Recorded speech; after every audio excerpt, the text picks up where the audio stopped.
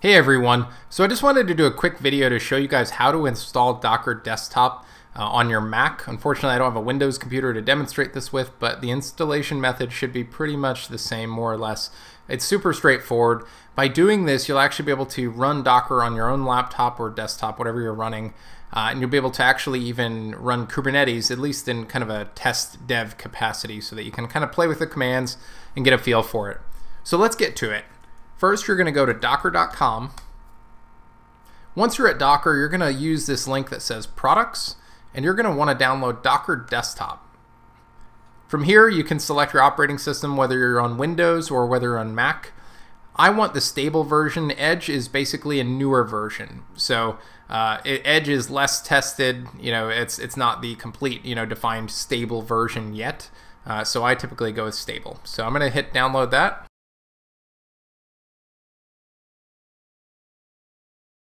Now with the download complete, we're going to go ahead and launch our DMG file.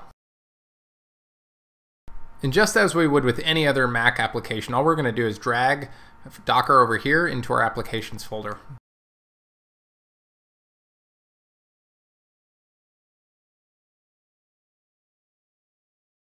Now with that done, I'm going to go ahead and close this, get this out of my way. Now just to make sure that Docker is installed, we're going to try to run it. And to do that, I'm going to go to my Launchpad and select Docker.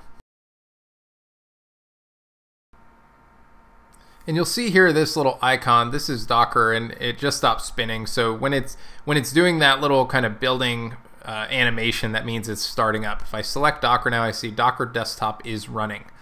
The final confirmation of this is really by going to the command prompt. If you type in Docker and hit enter, you should get a result. And I do. So Docker is up and running.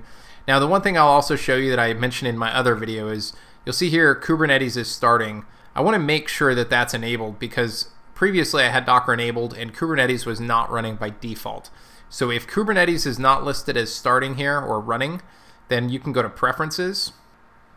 Then you'll want to head over to the Kubernetes button and you'll see here Kubernetes is enabled. As I mentioned when I previously had it installed, this was not checked. So if it's not, I'm going to go in here and check it.